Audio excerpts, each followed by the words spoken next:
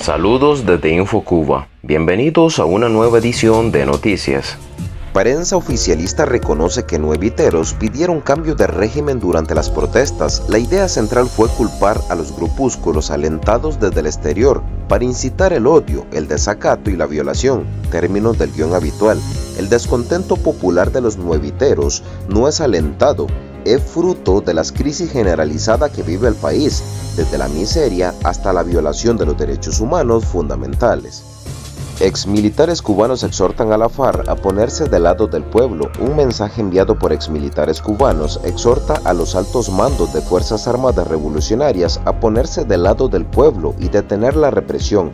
El comunicado dirigido por la articulación de militares objetores de conciencia, el general de división Rigel Tejeda, jefe del ejército oriental, conmigna al alto mando de la FARC a no mancharse las manos de sangre con el contexto de las recientes protestas ciudadanas de Nuevitas Camagüey, el llamamiento continúa dirigiéndose directamente a los miembros del ejército cubano y pidiéndoles que no se conviertan en los esbirros de quienes malgobiernan Cuba.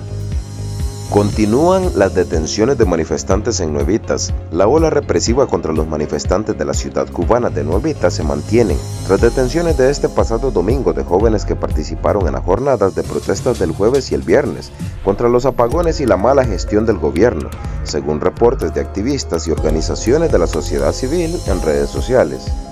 Desaparecida madre cubana que transmitió protesta y detenciones en Nuevitas. Desde las 9 pm hemos perdido comunicación directa con Mayelín Rodríguez Prado, la joven de 21 años quien transmitió en directo las protestas de Nuevitas.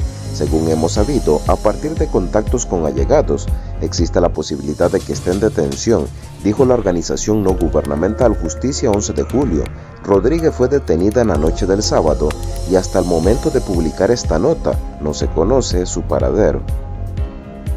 No hubo apagón nocturno en Nuevitas tras dos días consecutivos de protestas.